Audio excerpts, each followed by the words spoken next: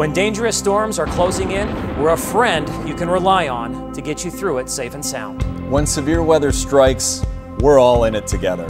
So we promise to stay with you on air, online, and on your mobile device until the coast is clear. When the weather's at its worst, we're a trusted friend that you can turn to. And count on to be connected and ready when you need us most. NBC 26 Storm Shield, keeping you connected and protected.